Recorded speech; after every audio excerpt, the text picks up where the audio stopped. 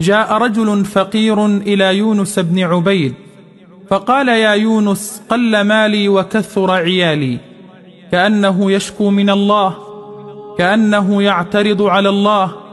فقال يونس للفقير يا هذا لو جاء لك شخص وأراد أن يشتري عينا من عينيك بمئة ألف دينار فماذا تصنع؟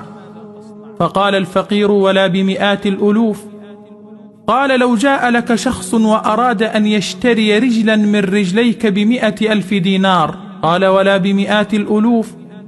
فقال يونس للفقير أعطاك الله من الألوف المئات ومع ذلك تشكو من بسط الأرض ورفع السماوات.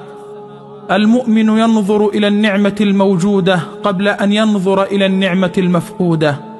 يا ابن آدم عندك ما يكفيك. وتطلب ما يطغيك لا بكثير تشبع ولا بقليل تقنع. اذهبوا إلى السجون لتعرفوا نعمة الحرية. والسجون مقابر الأحياء. واذهبوا إلى المستشفيات لتعرفوا نعمة الصحة والعافية. والصحة تاج فوق رؤوس الأصحاء لا يراه إلا المرضى. وسرير في بيتك أفضل من سرير في المستشفى وضيق في الرزق أفضل من ضيق في التنفس. يقول أحد المصابين بمرض السرطان أيها المتمتعون بالصحة اشكروا خالقكم على نعمة العافية وكفاكم حزنا على أتفه الأشياء.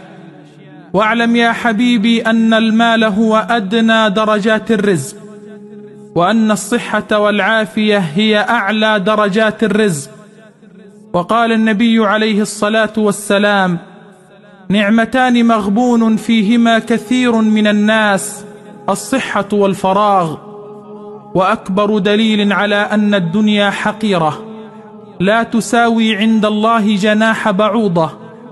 أن الإنسان إذا أصيب بصداع شديد في رأسه لمدة خمس دقائق الإنسان في هذه اللحظة عنده استعداد أن يتنازل عن جميع أملاكه حتى يرجع إلى أموره الطبيعية مرة أخرى.